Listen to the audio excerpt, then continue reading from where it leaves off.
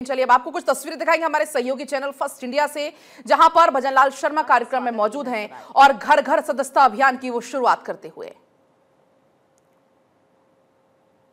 करती हुए भी नज़र आए। तो बेहद खास तस्वीरें और देखिए किस तरह से मुख्यमंत्री भजनलाल शर्मा, सभी कार्यकर्ताओं का, तमाम जो लोग वहाँ पर मौजूद थे, उनका अभिवादन किस तरह से स्वीकार कर रहे थे, उसकी भी तस्वीरें हम आपको दिखा रही हैं। तो ये बेहद खास तस्वीरें और ये तस्वीरें दिखाती है मुख्यमंत्री भजनलाल शर्मा के व्यक्तित्व को। सभी का अभिवादन स्वीकार करते हुए नज़र आए सूबे के मुखिया भजनलाल शर्मा। तो बेहद खास ये कार्यक्रम और देखिए आज से एक पखवाड़ा जो है वो भी यहाँ पर चलेगा।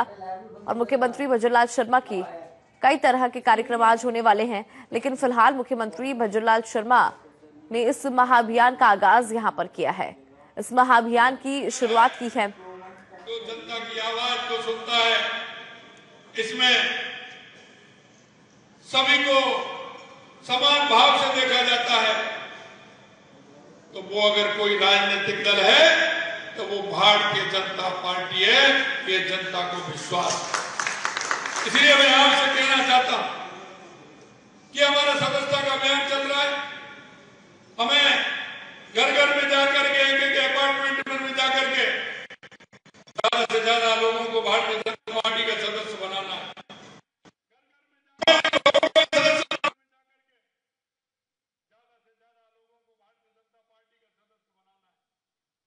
तो महाअभियान की शुरुआत करते हुए सीएम भजनलाल शर्मा की तस्वीरें। दरअसल इकहत्तर वार्ड नंबर में महाअभियान की ये शुरुआत हो रही है। सीएम भजनलाल शर्मा खुद यहाँ पर मौजूद हैं और उनका स्वागत सत्कार करते हुए तमाम ये नेता कार्यकर्ता नज़र आ रहे हैं। तो सदस्यता अभियान जो कि चलाया जा रहा है, बीजेपी की तरफ़ से बड़ा अभियान ये है और लक्ष्य चूँकि ये बड़ा है, हर एक नेता कार्यकर्ता को एक लक्ष्य दिया गया है कि आपको ज़्यादा से ज़्यादा सदस्य जोड़ने हैं। और ऐसे में महाअभियान का आगाज़ करते हुए सीएम भजनलाल शर्मा की ये तस्वीरें। जब यहाँ पर वो पहुँचे, उनका स्वागत सत्कार किया जा रहा है।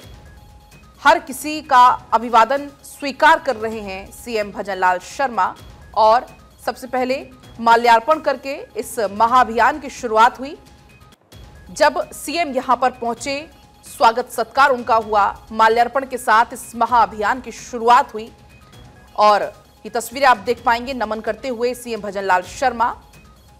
और ये जब मंच पर मौजूद थे, सीएम भजनलाल शर्मा उस दौरान की ये तस्वीरें हैं। तो घर घर सदस्यता महाअभियान, जिसकी शुरुआत सीएम भजनलाल शर्मा कर रहे हैं। सांगानेर वार्ड में मौजूद हैं आज, और ऐसे में इस महाअभियान की शुरुआत करते हुए सीएम भजनलाल शर्मा मंच से हालाँकि संबोधित भी उन्होंने किया और कई बड़ी बातों का ज़िक्र किया। बीजेपी के समाज के प्रति उसका दायित्व हो, हमारा राष्ट्र दुनिया में कैसे आगे बढ़े? पंडित दीनदयाल उपाध्याय के विचार को लेकर के डॉक्टर श्यामा प्रसाद मुखर्जी के विचार को लेकर के चले। और वो दस राष्ट्रवादी लोगों ने जिन्होंने जनसंघ की स्थापना की थी, वो धीरे धीरे धीरे धीरे और वो पार्टी बढ़ती चली गई। 1975 में इमरजेंसी के बाद जनता पार्टी के रूप में जितनी भी विरोधी पार्टी वो शामिल हुई, लेकिन 1980 में दोहरी नागरिकता के कारण हमको उस राजनीतिक दल से अलग होना पड़ा और भारतीय जनता पार्टी छह अप्रैल 1980 को भारतीय जनता पार्टी की स्थापना हुई। मित्रों, मैं आपसे इतना ही कहना चाहता छोटा सा राष्ट्रवादी लोगों का जो मेहनत थी वो जिस विचार को लेकर के चले थे और वो आज पार्टी दुनिया की सबसे बड़ी पार्टी बनी ये आप जैसे कार्यकर्ताओं की मेहनत है। इसलिए मैं आपसे कहना चाहता हूँ, आप सभी से आह्वान भी करना चाहता हूँ कि आप लोग आइए, क्योंकि हमारी जो सदस्यता है, वो सदस्यता हमारी प्रमुख होती है। हमारी सबकी सदस्यता होने वाली है। कोई भी व्यक्ति उसकी सदस्यता होगी। आपसे मैं इतना ही कहना चाहता हूँ, आप अपनी उस सदस्यता को बढ़ाएँ। सदस्यता में, बनाने वालों में जो आप बना रहे हैं, उसका उसमें नाम लिखें। नाम लिखते हुए हमारी जो सदस्यता का अभियान चल रहा है, इसको बढ़ाएँ। और मैं विशेष रूप से आपसे इसलिए कहना चाहता हूँ कि जिस तरह से सांगानेर विधानसभा का नाम है, सांगानेर विधानसभा जिस विचार को लेकर के चलती है। हमेशा सांगानेर विधानसभा ने ऊंचाइयों को छुआ है।